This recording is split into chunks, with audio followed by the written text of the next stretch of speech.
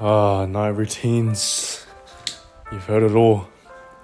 Meditation, journaling, 100 push ups before you sleep, drink 10 liters before you sleep, all that nonsense. After my 17 years of experience in life, I realized that my best night routine happened when I was a little kid. And it only consisted of four things pre day planning, stretching mobility, meditation and prayer, and sleep. And like a lot of you before this, I was probably averaging like six or seven hours of sleep max. And that's not enough like at all. And I also know that a lot of you guys watching, you guys sleep at 3 a.m., like 4 a.m. as well. Like that's crazy. My goal for this video is you create a night routine that will help you to sleep way before that. The quality of your sleep is the quality of your day. But without yapping too much, the first thing is about pre-day planning. Failing to plan is planning to fail. Just for me, I just hate waking up and just not having a plan or not knowing what to do. It's, it's like packing for a plane trip.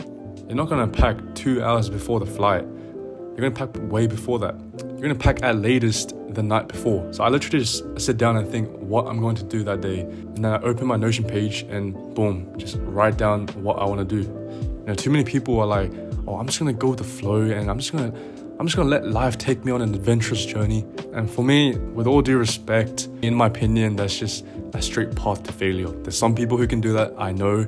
Like again, I'm not against it. It just doesn't work for me. The next one is unless you want to be a crinkly, old, stiff, rigid, haggard old man or woman, work on your flexibility.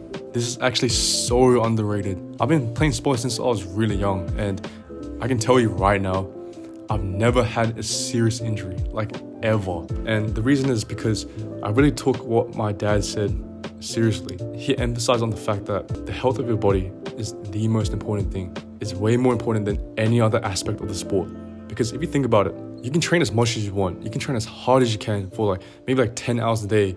In the game, if someone knocks you off balance and you fall and you tear an ACL or you know just something you like you break your leg, then what are you gonna do? Adios to your season. Your season's gone now. You can't even play. So the health of your body is the most important thing. And flexibility and mobility really helps to prevent injuries. Imagine you get a new car. You're gonna maintain it, you're gonna clean it as much as you can, like the nitty gritty things. That's exactly the same as your body. You have to preserve it for as long as you can. One thing I kind of tell myself, I know it's not possible, but it's like I should be able to show my grandkids a backflip like what? I know that's not gonna happen, but like that's like, like I'm Bro, taking to the extreme. About, I want to keep my body really healthy and like mobile. So in the future, I won't be walking around with a damn stick. You know what I mean? And I get it. You're tired at night. You just want to sleep.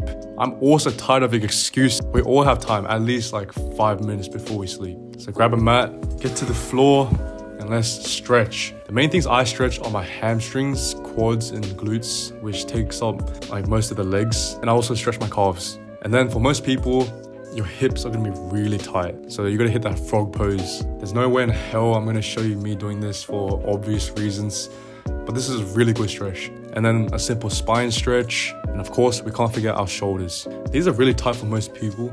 You can just use a towel or I like to use my resistant band and I've been using this for a couple years now. But this stretch, I promise you, it saved me so many. It saved me from so many injuries. So I really recommend that one. And trust me, like I used to be really inflexible too. Like I wasn't able to touch my toes, but it's just a matter of showing up and actually getting to the ground and stretching. You have to be consistent with it. And I promise you, it's gonna be a slow journey, but it's gonna be slow but sure. The results are gonna be top tier. You won't be injured ever again. Actually, no, no, no. I take that back. If you get injured, they come at me. But like, this will reduce your injury risk. Uh, following after that is meditation and prayer. You know, I know I sound like one of those other self-improvement YouTubers, but for real though, if you're religious, praying before you sleep is really calming. And the whole point of this video or this routine is to find peace before you sleep so you can have a good sleep. You know, I'm Christian, so before I sleep, I just sit down and just pray about my day. You know, if I was feeling anxious that day, if I feel stressed that day, or you know, if I was feeling grateful that day as well, I just talk about that and I just pray about that. And when I go to sleep, I just feel a lot more peaceful. And even if you're not religious, that's fine. You can do meditation.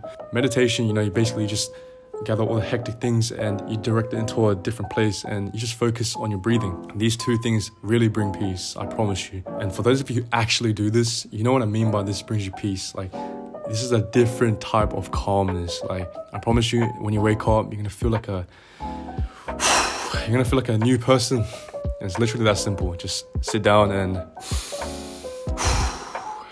the last one is sleep. This is a really short thing. Nothing more than that. You, we literally need like 8 to 10 hours of sleep. Doesn't matter if you're 5 years old, if you're, if you're 10, if you're 50, if you're 80, it doesn't matter. And I know some people, I'm not gonna name names, but some people sleep at damn 3 to 4 a.m. Like, like nah, like nah, just just no, just don't. Like nothing personal, bro, you know? Just, you know, like, just trying to save your life lately I've made it my goal to like sleep earlier and and I have to admit my sleep schedule is kind of it's kind of scoffed low key. I made it my goal and especially because now we're in holidays, we have a six week holiday. I'm trying to make that my goal to sleep earlier during that time. I've been slacking, I've been slacking, but we're gonna change that now. You know, this night routine is not a perfect structure. It's not like once you do this, you're gonna become a millionaire or you're gonna become the hottest person alive. Like you have to you have to trial and error with this. I didn't just do this do this routine and you know this was a perfect thing. I tried different things and it didn't work, but over time it just it just gradually molded into what I'm sharing with you guys today. Remember, this isn't a temporary thing.